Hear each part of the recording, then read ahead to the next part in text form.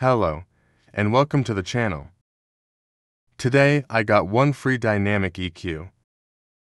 Since I already got it, I can't show you how to download. The website is called Initial Audio.